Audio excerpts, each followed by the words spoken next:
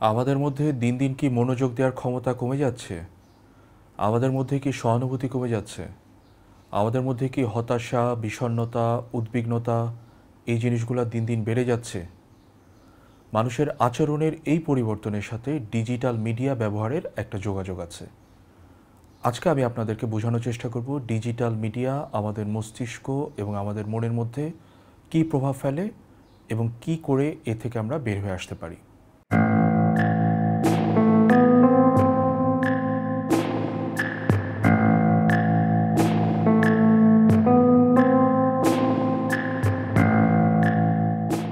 আমি আহসান আজিজ সরকার, আমি একজন সাইকিয়াট্রিস্ট বা মানসিক রোগ বিশেষজ্ঞ।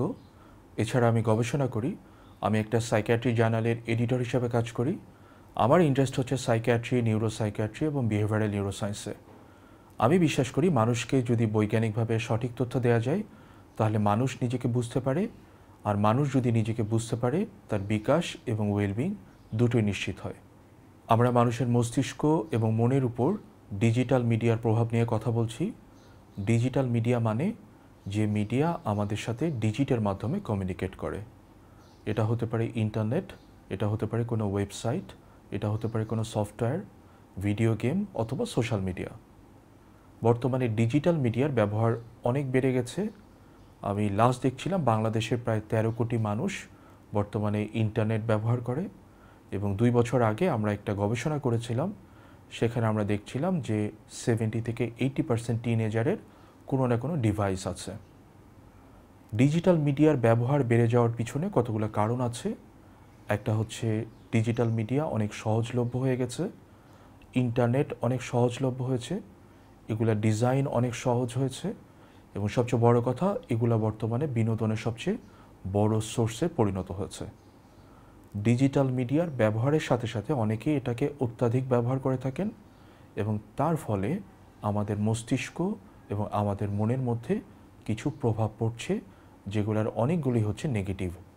তো আজকে মস্তিষ্ক এবং মনের মধ্যে কী প্রভাব পড়ছে সেটা নিয়ে কথা বলব। ডিজিটাল মিডিয়া প্রথমেই যেটা করে সেটা হচ্ছে আমাদের মনোযোগ দেওয়ার দক্ষতা কমিয়ে দেয়। কি করে আমাদের মনোযোগ দেওয়ার দক্ষতা কমিয়ে দেয়? আমাদের মনোযোগ দেওয়ার দক্ষতা বেড়ে ওঠে তখন যখন আমরা একই সময়ে একটা কাজ করতে থাকি। একটা বাচ্চা যখন একই সময়ে একটা মাত্র কাজ করে থাকে, তখন তার আস্তে আস্তে মনোযোগ দেওয়ার দক্ষতা ডেভেলপ করতে থাকে। আপনি যখন ডিজিটাল মিডিয়া ব্যবহার করেন, ধরেন আপনি একটা ভিডিও দেখছেন, তখন শুধু এই ভিডিওটা না, তার পাশে অনেকগুলো ভিডিও সাজেশন আসে। সেখানে হয়তো কোনো একটা অ্যাড আসে, মানুষের কমেন্ট আসে এগুলো আপনার মনোযোগকে বিক্ষিপ্ত করে দেয়। তো আপনার মনোযোগ যখন বিক্ষিপ্ত হয়ে যায়, তখন আপনার ব্রেনের যে অংশগুলা মনোযোগ ডেভেলপমেন্টের সাথে জড়িত, সেগুলোও ঠিকমতো ডেভেলপ হতে পারে না। তার ফলে যেটা হয় যে মনোযোগ দেওয়ার দক্ষতা কমে যায়। তো আপনারা দেখবেন, যারা ডিজিটাল মিডিয়া ব্যবহার করেন কিংবা অত্যাধিক ব্যবহার করেন, তাদের মনোযোগের সমস্যা আছে। এবং এডিএইচডি বলে একটা মানসিক সমস্যা আছে, যেটা দিন দিন বেড়ে যাচ্ছে। এবং ধারণা করা হয় যে ডিজিটাল মিডিয়ার সাথে এটার একটা সম্পর্ক আছে।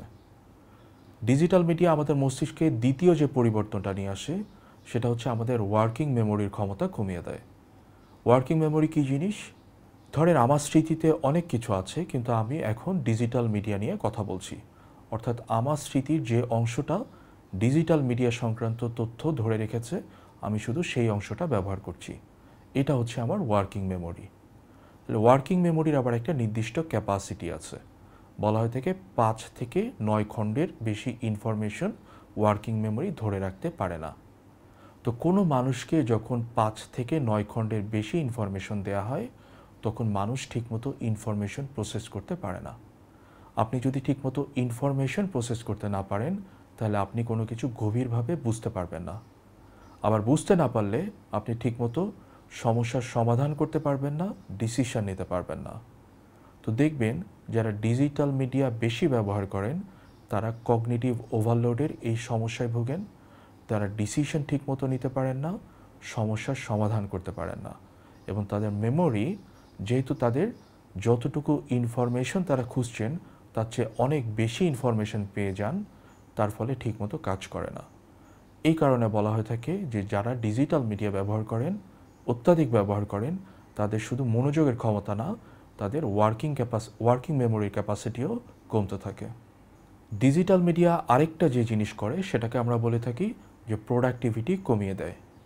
প্রোডাক্টিভিটি কমানোর পিছিয়ে যে জিনিসটা কাজ করে, সেটাকে বলা হয় টাস্ক সুইচিং ইফেক্ট এই জিনিসটা হচ্ছে, আপনি যখন ডিজিটাল মিডিয়া ব্যবহার করেন, সাধারণত মাল্টিটাস্কিং করেন। ধরেন আপনি একটা কাজ করছেন, তখন একটা মেইল আসে। আপনি একটা কাজ করছেন, একটা নোটিফিকেশন আসে। আপনি একটা কাজ করছেন, আপনার মনে হলো যে আপনি একটা গান শুনবেন। আপনি যখনই এরকম করেন টাস্কে সুইচ করেন, তখন দুটো জিনিস হয়। আপনার ব্রেনকে একটা নতুন লক্ষ্য নির্ধারণ করতে হয় এবং আপনি আগে যে নিয়ম অনুযায়ী কাজগুলো করছিলেন, নতুন আরেকটা নিয়ম অনুযায়ী কাজ শুরু করতে হয়। ধরেন আপনাকে দুটো বিষয়ের উপরে রচনা লিখতে বলা হলো। একটা হচ্ছে বাংলাদেশের নদী আর একটা হচ্ছে বাংলাদেশের পশু সম্পদ। আপনি যদি বাংলাদেশের নদী এই রচনা লেখা শুরু শেষ করে আপনি বাংলাদেশের পশু সম্পদ শুরু করেন, তাহলে এটা আপনার জন্য বেশি প্রোডাক্টিভ হবে। কিন্তু আপনি যদি মনে করেন যে আপনি পনেরো মিনিট বাংলাদেশের নদী সম্পর্কে লিখবেন, পনেরো মিনিট বাংলাদেশের পশু সম্পদ সম্পর্কে লিখবেন, তখন আপনার প্রোডাক্টিভিটি কমে যাবে। কমে যাবে এই কারণে যে আপনার লক্ষ্য পরিবর্তন হচ্ছে এবং আগে আপনার ব্রেইন যে নিয়ম অনুযায়ী বাংলাদেশের নদী সম্পর্কে চিন্তাভাবনা করছিল, এখন হয়তো নতুন নিয়ম অনুযায়ী তাকে বাংলাদেশের পশু সম্পদ সম্পর্কে চিন্তাভাবনা করতে হবে। এই ধরনের কনটেক্সট সুইচ হয়ে যাওয়ার কারণে মানুষের প্রোডাক্টিভিটি কমে যায়। ডিজিটাল মিডিয়া আরেকটা জিনিস করে, সেটা হচ্ছে আমাদের মাসল বা মোটর স্কিলকে কমিয়ে দেয়। এটা কীভাবে করে? ধরেন আমরা যে মাসলটা বেশি ব্যবহার করি, আমাদের ব্রেনের যে অংশটা সেই মাসলকে নিয়ন্ত্রণ করে সেই অংশটা ব্রেনে সবচেয়ে বেশি বড় হয়ে দেখা দেয়।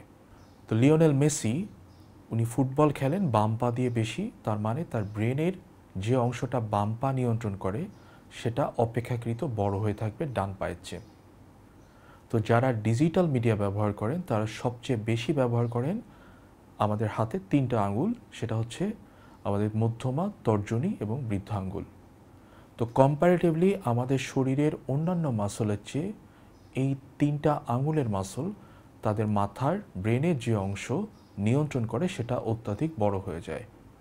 এর ফলে যেটা হয় যে অন্যান্য মাসলের যেগুলো আমরা সিনকোনাইজ করে নানা রকম কাজ করি, সেই কাজগুলো তারা ঠিকমতো করতে পারে না। তার ফলে দেখবেন যে যারা বেশি ভিডিও গেম খেলে, তারা বাস্তবে কিন্তু খেলাধুলা বেশি ভালো পারে না।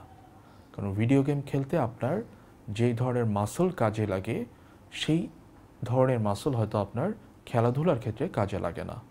তার ফলে দেখবেন যে তারা মাঠে হয়তো ক্যাচ ঠিকমতো ধরতে পারে না বল কন্ট্রোল করতে পারে না, কিন্তু তাদের খেলাধুলার প্রতি প্রচুর আগ্রহ আছে। এভাবে ডিজিটাল মিডিয়ার অত্যাধিক ব্যবহার আপনার মাসল স্কিলকে কমিয়ে দিতে পারে। অন্য আরেকটা জিনিস করে, সেটাকে আমরা বলি blue light effect blue light effect হচ্ছে যে কোনো ডিজিটাল মিডিয়া যে ডিভাইসগুলো ব্যবহার করে আমরা ডিজিটাল মিডিয়া ব্যবহার করি সেই ডিভাইসগুলো থেকে এক ধরনের নীল রঙের আলো বের হয়। এই নীল আলোটা হচ্ছে সূর্যের আলোর মতো। সূর্যের আলোর মতো এই আলো যখন বের হয়, তখন আমাদের ব্রেনকে সিগনাল দেয় যে এখন ঘুমানোর সময় না। তার ফলে যারা ডিভাইস বেশি ইউজ করে, তাদের ঘুমের সাইকেল নষ্ট হয়ে যায়। আরেকটা জিনিস করে লেপটিন বলে আমাদের একটা হরমোন আছে, যেই হরমোনটা বলে দেয় যে আপনার পেট এখন ভর্তি আছে, খাওয়ার প্রয়োজন নাই। আপনি যখন কন্টিনিউয়াসলি এই নীল আলোর চোখের সামনে থাকে, তখন আপনার শরীরের মধ্যে এই লেপটিনের লেভেলটা কমে যায়।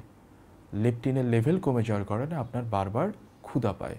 তো দেখবেন যারা বেশি ল্যাপটপ বা ডেস্কটপের সামনে কাজ করে অথবা যারা বেশি ভিডিও গেম খেলে, তাদের কিছুক্ষণ পরপর খাওয়া দাওয়া করতে হয় এবং তারা স্থূলকায় হয়ে থাকেন। ডিজিটাল মিডিয়া আরেকটা যেটা করে, সেটা হচ্ছে আমাদের ব্রেনে অ্যামিকডালা বলে যে অংশ আছে, যেটি আমাদের আবেগকে নিয়ন্ত্রণ করে যেটা আমাদের সহানুভূতিকে নিয়ন্ত্রণ করে, যেটা আমাদেরকে অন্যের দৃষ্টিভঙ্গি বুঝতে সহায়তা করে, সেই অংশটার আকারকে ছোট করে দেয়। ছোট করে দেওয়ার ফলে আমাদের মধ্যে সহানুভূতি কমে যায়, আমরা বেশি অ্যাগ্রেসিভ হয়ে ওঠে তো দেখবেন যারা অনেক বেশি ভিডিও গেম খেলে, বিশেষ করে অ্যাগ্রেশনের তারা বাস্তব জীবনে অনেক বেশি অ্যাগ্রেসিভ আমেরিকায় যারা স্কুলে শ্যুট করে, তাদের একটা বড় অংশ ভিডিও গেমে অ্যাডিক্ট হয়ে থাকে। তো এইভাবে ডিজিটাল মিডিয়ার ব্যবহার আপনার অ্যামিকডালা ছোট করে দেয় এবং আপনার মধ্যে সহানুভূতিকে কমিয়ে দেয়।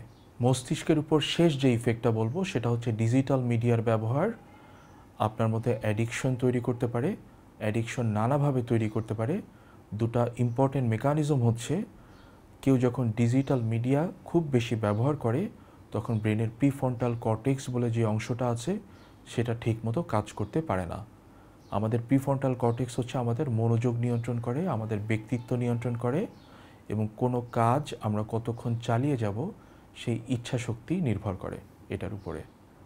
তো যখন প্রিফ্রন্টাল কর্টেক্স ঠিকমতো ডেভেলপ করে না, তো আমরা কোনো কাজে তখন ঠিকমতো না বলতে পারি না। না বলতে না পারার কারণে আমাদের মনের মধ্যে যখন যে ইচ্ছা জেগে ওঠে, সেই ইচ্ছাটা আমরা করতে যাই। তো যারা খুব বেশি ডিজিটাল মিডিয়া ব্যবহার করে, তাদের প্রিফ্রন্টাল কর্টেক্স এটার বিকাশ ঠিকমতো হয় না, তার ফলে তারা সহজে ডিজিটাল মিডিয়ায় অ্যাডিক্ট হয়ে পড়ে। শুধু ডিজিটাল মিডিয়া অ্যাডিকশন না, অন্যান্য নানা ধরনের অ্যাডিকশনও তাদের মধ্যে দেখা যেতে পারে। অন্য আরেকটা জিনিস হচ্ছে ডিজিটাল মিডিয়া এমনভাবে তৈরি করা যে এটা জন্য আপনার মধ্যে ডোপামিন বেশি নিঃসরণ করে। আমরা জানি ডোপামিন হচ্ছে আমাদের মধ্যে নেশা তৈরি করে, আমাদেরকে আনন্দ দেয় তো ডিজিটাল মিডিয়াতে লাইক কমেন্ট কিংবা অন্যের প্রশংসা, এই জিনিসগুলা এমনভাবে তৈরি করা যে আপনি যতবার লাইক পাবেন, ততবার আপনার মধ্যে ডোপামিন তৈরি হবে কিংবা আপনি যখন কোনো কিছু পাওয়ার আশা করেন, তখন আপনার মধ্যে ডোপামিন তৈরি হয়। তো আপনি যখন একটা পোস্ট দেন, তখন আপনার মধ্যে পাওয়ার আশা হয় যে কত মানুষ এটা দেখবে, কত মানুষ এটাতে লাইক করবে কমেন্ট করবে, তো ডোপামিন কন্টিনিউয়াসলি বের হতে থাকে। তো এইভাবে আপনি ডিজিটাল মিডিয়ায় অ্যাডিক্ট হয়ে পড়েন। তো আমরা ডিজিটাল মিডিয়ার প্রভাব নিয়ে কথা বলছিলাম যে আমাদের মস্তিষ্কে কী প্রভাব আনে। আমরা দেখছিলাম যে আমাদের মনোযোগ কমিয়ে দেয়, আমাদের স্মৃতিশক্তিকে কমিয়ে দেয়, আমাদের মধ্যে সহানুভূতি কমিয়ে দেয়, আমাদের মধ্যে অ্যাডিকশন নিয়ে আসতে পারে প্রোডাক্টিভিটি কমিয়ে দেয়। মস্তিষ্কের পাশাপাশি ডিজিটাল মিডিয়া আমাদের মনের মধ্যে প্রভাব ফেলে এবং আমাদের মনের মধ্যে প্রভাব ফেলার জন্য আমাদের মধ্যে হতাশা বিষণ্নতা হীনমন্যতা, একাকিত্ব, দুশ্চিন্তা, উদ্বিগ্নতা এই ধরনের সমস্যাগুলো বেশি দেখা দেয়। তো কেন এই সমস্যাগুলো দেখা দেয়? তার একটা বৈজ্ঞানিক ব্যাখ্যা আছে। এই ব্যাখ্যাকে আমরা বলে থাকি বৈষম্যের তত্ত্ব। বৈষম্যের তত্ত্ব হচ্ছে প্রত্যেকটা মানুষের একটা জীবনের লক্ষ্য বা আকাঙ্ক্ষা থাকে এবং তার একটা বর্তমান অবস্থা থাকে। মানুষ তার বর্তমান অবস্থা পরিবর্তন করে লক্ষ্য বা আকাঙ্ক্ষার দিকে যেতে থাকে। আমাদের লক্ষ্য বা আকাঙ্ক্ষা কি হবে এবং আমাদের বর্তমান অবস্থা কি হবে, সেটা আবার আমরা অন্য মানুষের সাথে তুলনা করে নির্ধারণ করি। ডিজিটাল মিডিয়া বা সোশ্যাল মিডিয়া যেটা করে, যে আমাদের তুলনার পরিধি অনেক বাড়িয়ে দেয়। আমাদের তুলনার পরিধি অনেক বড় করে তোলে। তো আগে আমরা নিজেদের বন্ধুবান্ধব বা পরিচিত মানুষের সাথে নিজের তুলনা করতাম। ডিজিটাল মিডিয়া যেটা করছে যে আমরা অপরিচিত মানুষের সাথে নিজের তুলনা করতে শুরু করি। তার ফলে যেটা হয়, আমরা নানা দিকে নিজের হীনমন্যতায় ভুগতে থাকি।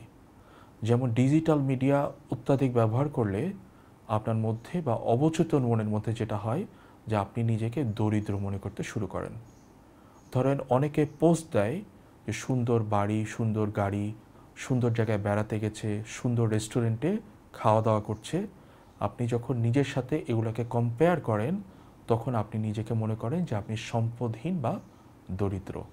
এছাড়া ডিজিটাল মিডিয়া আপনার অবচেতন মনের মধ্যে ধারণা তৈরি করে যে আপনার মধ্যে কোনো ক্ষমতা নাই বা আপনি আপনার জীবনকে নিয়ন্ত্রণ করতে পারেন না।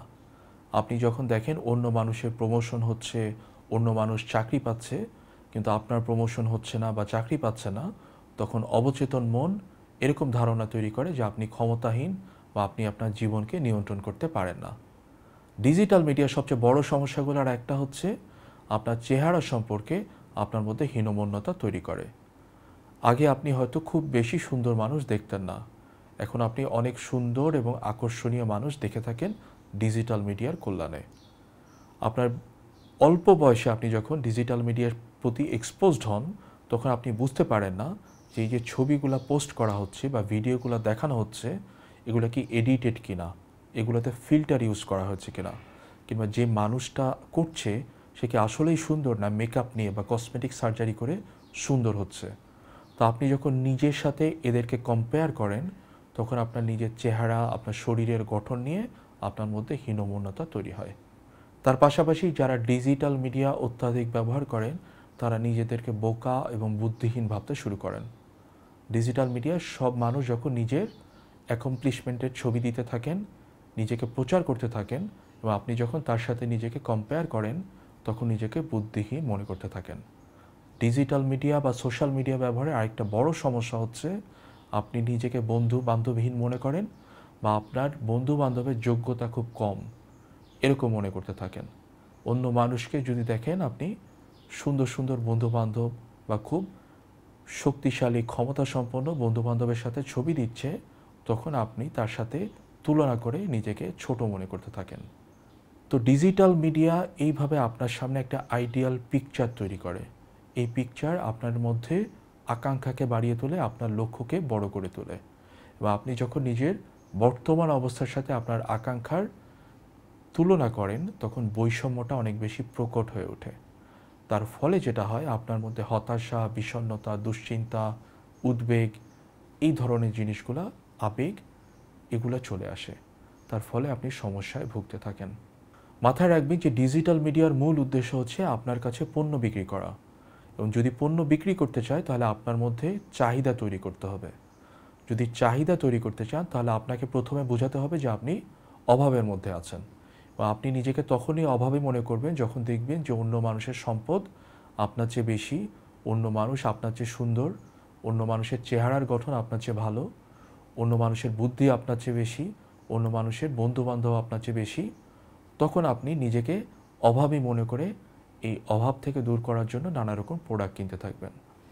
তো এইভাবে ডিজিটাল মিডিয়া আমাদের ব্রেইনকে হ্যাক করে থাকে। আপনারা ডিজিটাল মিডিয়ার এই প্রভাব থেকে কি করে বের হবেন? এখান থেকে বের হওয়ার অনেক উপায় আছে, আমি দুটো সহজ টিপস দিতে চাই। একটা উপায় হচ্ছে আপনারা যে ডিভাইস ব্যবহার করে ডিজিটাল মিডিয়া ব্যবহার করেন সেটা আপনারা দূরে রাখবেন। অনেকে আছেন, কাছে রাখেন। কেউ যাতে স্ক্রিন দেখতে না হয়, সেজন্য উল্টা করে রাখেন। কেউ নোটিফিকেশন বন্ধ করে রাখেন। এগুলা কম কার্যকর উপায়। সবচেয়ে কার্যকরী উপায় হচ্ছে আপনি যেখানে আছেন, সেই ঘরে না রেখে অন্য কোনো ঘরে রেখে দেয়া। এবং আপনি যখন ডিভাইস ব্যবহার করেন, সবচেয়ে ভালো হয় যদি তার একটা নির্দিষ্ট সময় থাকে। যে আপনি আধ ঘণ্টা বা এক ঘণ্টা এই সময়টা আপনি ডিজিটাল মিডিয়া ব্যবহার করবেন। ডিজিটাল মিডিয়া কতক্ষণ ব্যবহার করবেন বা কতক্ষণের বেশি ব্যবহার করলে আপনার ব্রেনের উপর প্রভাব পড়বে, এটার কোনো নির্দিষ্ট সীমারেখা নাই। তবে সাধারণত মনে করা হয় যে বাচ্চাদের ক্ষেত্রে আধ ঘণ্টার বেশি ব্যবহার করা উচিত না এবং যারা টিনেজ, তাদের দিনে এক থেকে দুই ঘণ্টার বেশি ব্যবহার করা উচিত না। তো এটা যদি আপনারা মেনে চলতে পারেন, এটা আপনাদেরকে হয়তো ডিজিটাল মিডিয়ার প্রভাব থেকে বের হতে সহায়তা করবে। আর সেকেন্ড যেটা টিপস আমি দিতে চাই সেটা হচ্ছে আপনাদের ডিভাইসের মধ্যে দেখবেন ডিজিটাল ওয়েলবিং বলে একটা ফাংশন আছে, যেটা আপনারা ডিজিটাল মিডিয়া কতক্ষণ ব্যবহার করছেন, কোন অ্যাপ ব্যবহার করছেন এটা বলে দেয়। তো আপনারা প্রতিদিন এটা একবার চেক করবেন।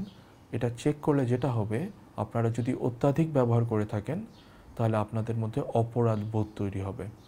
অপরাধ বোধ খুব স্ট্রং একটা নেগেটিভ ইমোশন এবং আপনি যদি প্রতিদিন চেক করেন, এই অপরাধ বোধ পরবর্তীতে আপনি যখন ডিভাইস ইউজ করতে যাবেন, আপনার মনের মধ্যে একটা অস্থিরতা তৈরি হবে, অশান্তি তৈরি হবে। তো এই ডিজিটাল ওয়েলবিং যদি আপনি নিয়মিত চেক করেন, তাহলে আশা করা যায় আপনি ডিভাইসের ব্যবহার কমাতে পারবেন। তাহলে একটা হচ্ছে ডিভাইস দূরে রাখা, অন্যটা হচ্ছে ডিজিটাল ওয়েলবিং নিয়মিত চেক করা, যেটা আপনার মধ্যে অপরাধ বোধের জন্ম দিবে। তো ভিডিও শেষ পর্যায়ে চলে আসছি। আজকে আমরা ডিজিটাল মিডিয়ার প্রভাব নিয়ে কথা বলছিলাম। কি করে আমাদের মস্তিষ্ক এবং মনের উপর প্রভাব বিস্তার করে এবং এখান থেকে কি করে বের হয়ে যাওয়া যায়। আপনারা ভালো থাকবেন। ভবিষ্যতে আবার কথা হবে।